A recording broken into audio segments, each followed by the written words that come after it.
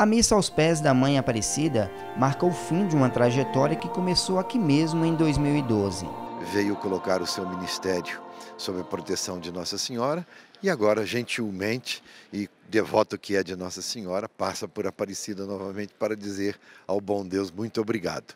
Dom Giovanni Danielo levará consigo lembranças do lugar que o acolheu. Vou com muita saudade, isso, isso é claro. Depois é a minha segunda vez que estava aqui no Brasil, então agora vou sair ainda mais com saudade, mas todas as recordações que vou levar comigo vão me sustentar também na nova missão. Dom Giovanni revela que a alegria do povo brasileiro e uma igreja marcada pelo compromisso em anunciar Jesus são pontos que deixaram marcas na sua história.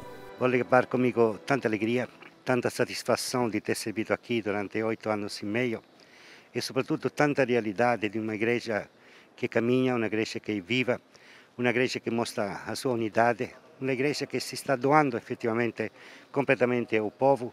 Foram mais de oito anos à frente da anunciatura apostólica no país, período em que Dom Giovanni atuou como representante da Santa Sé e do Papa aqui no Brasil, função que o religioso realizará agora em terras russas. A celebração teve a presença de vários bispos representantes de suas dioceses que vieram abraçar aquele que a muitos acolheu.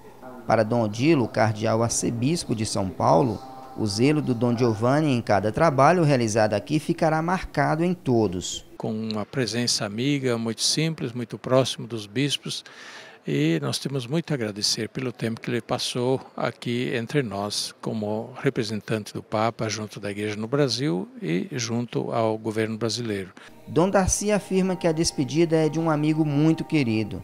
Ele teve a alegria de ser nomeado na gestão de Dom Giovanni como bispo auxiliar de Aparecida e, posteriormente, para a Arquidiocese de Diamantina. Fui nomeado a partir do trabalho, e o Núncio faz esse trabalho, não de apresentar nomes a Roma, então, a partir do seu trabalho, fui um dos primeiros bispos a ser nomeado no Brasil, sim. Evidentemente, conte todas com minhas orações ainda mais agora neste momento tão particular, especialmente aquele que mais sofre, para que quanto antes nós podemos ser liberados desta, libertados desta pandemia e poder ter de novo uma vida normal como antes.